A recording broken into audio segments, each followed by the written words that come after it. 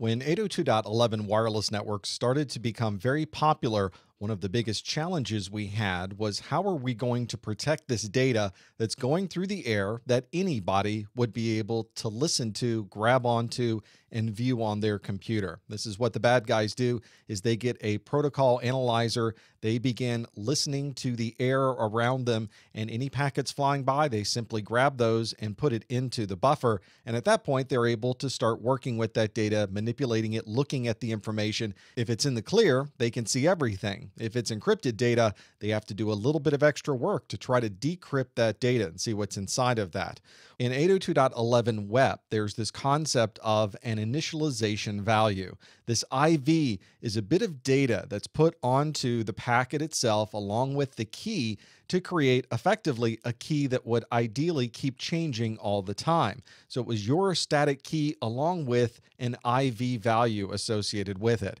Another aspect of 802.11 WEP is that we would send all of the encrypted data along to the other side, but we would also include in the clear the plain text initialization value. That's because once it got to the other side, that device needed to know the IV so that it could decrypt all of that data. Well, that was a bit of a problem. That created some challenges, as you're about to find out.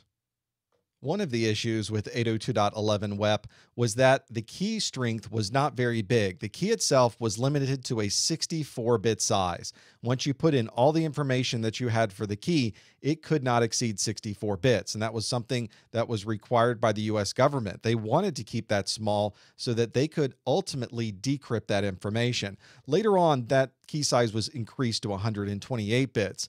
But at the current time when it was implemented, 64 bits was all you had. But of course, the 64 bits was including your key and the initialization value. So what we ended up having was a 40 bit key and a 24 bit initialization value to make up those 64 bits. Well, that's not a lot of bits. And the problem was that now we had a lot of the key that was being sent along with the plain text data onto the other side. Let's see how this works. This is the process for encrypting data and sending it to another station with 802.11 WEP. Now, obviously, you're going to start with what we call the plain text. This is the information that we want to be able to encrypt. Along with the plain text, we're going to calculate a cyclical redundancy check. This is a CRC. On the other side, we'll use that CRC to make sure that the original plain text arrived without any type of corruption or any changes in between. So those two things together make up that plain text in CRC. Now you need to encrypt it. So, of course, you're going to have a key. You will configure a wireless key for your access point, and there is our initialization vector. Notice these are not to scale. Obviously, your key is 40 bits, and the initialization vector is 24 bits in that initial 802.11 WEP.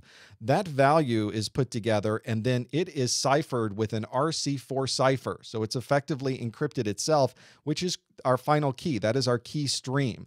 All of that information together now will be combined with the plain text in CRC in an XOR fashion to come up with the final cipher text that we will use and that's what's sent to the other side. Notice that the initialization value, the original value before we encrypted anything, is also included with the ciphertext that we send to the other side. That's because that remote station needs to decrypt this information, and that initialization vector is the only thing that is different that it needs to know about. It has to know the IV so it can reverse this process on the other side.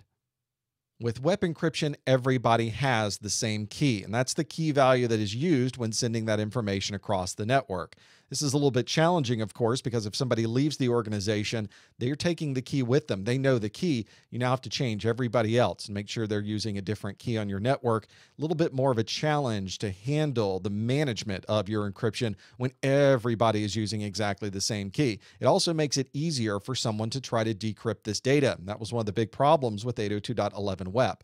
The initialization vector is 24 bits long. That's not a lot. That's the only thing we have to help randomize this data that we're sending to the other side. If you do the math for that RC4 cipher stream, you have finally a WEP key that can be one of 16,777,216 possible iterations. That's not a lot in the big scheme. And of course, those initialization values can also be reused as this traffic is going across your network. This, for a person who is trying to do decryption, is fantastic. But for those of us that want to keep our data private, this isn't so much of a good thing. You also have the challenge in 802.11 WEP that some of these initialization values don't provide very good security. Some of the IVs have been found to be weak. They don't provide as good as an encryption as other initialization values might. Now, one of the things that the manufacturers did later on was not to use those particular initialization values, but at the very beginning, we were using all of them. Nobody knew that a lot of these cryptographic problems existed, and that made it that much easier to discover what the wireless key happened to be. Another thing that the bad guys would do is they would put their own frames onto the network in an effort to increase the number of initialization values that were being used.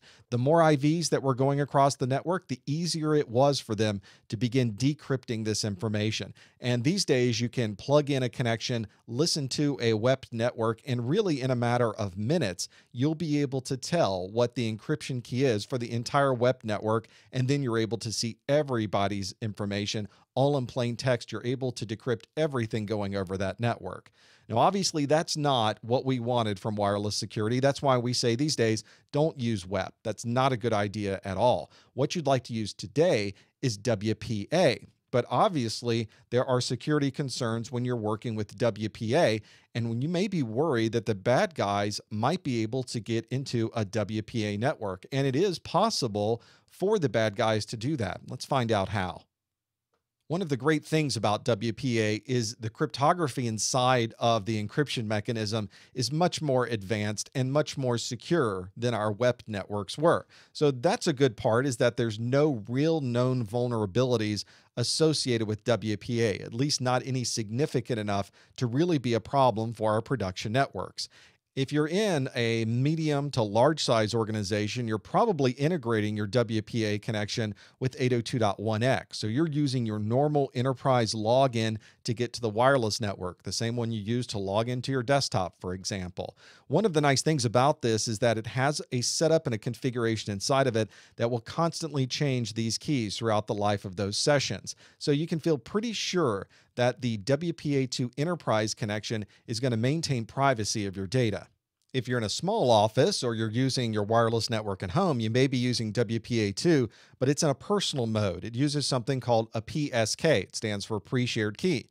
You put the same key on everybody's machine and they're able to gain access to the wireless network.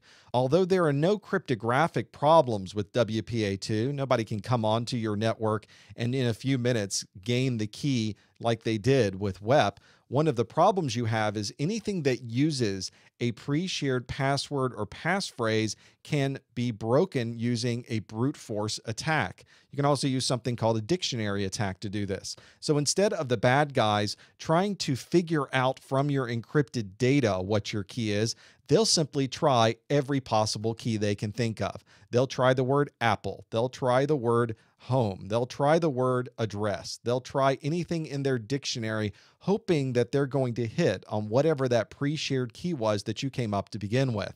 So they could spend hours, in some cases, even days, trying to figure out what that pre shared key is. If you're setting up your wireless network, you want your pre shared key to be something you can't find in a dictionary. You don't want it to be a word at all. You want it to be a random amount of data. You want it to have a lot of entropy, as we call it in computing. We want there to be complete randomization, uppercase characters, lowercase characters. We want to perhaps put special characters inside of it. The more we can make it complex, and the longer we can make that key, the harder it's going to be for the bad guys to use their brute force attacks or their dictionary attacks to somehow reverse engineer what this happens to be.